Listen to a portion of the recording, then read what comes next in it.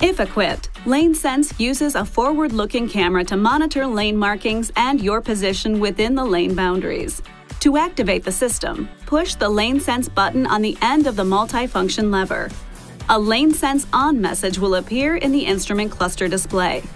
If both lane markings are detected and you unintentionally drift out of the lane with no turn signal, or if you depart your lane in a direction opposite what you've signaled, Lane Sense provides a steering wheel torque warning to remind you of the lane boundaries. For example, if you apply the left turn signal but try to depart the lane to your right.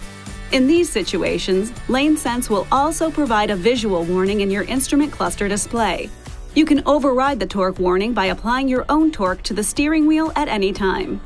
You can also adjust the strength of the steering wheel torque from low to high, as well as the timing of the warning, from early to late, in the Uconnect system.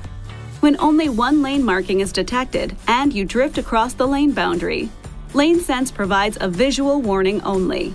To deactivate the system, push the Lane Sense button two times. Lane Sense retains the last system state, on or off, between ignition cycles. This video is not intended to take the place of your owner's manual. For complete details and other important safety information, please see your owner's information.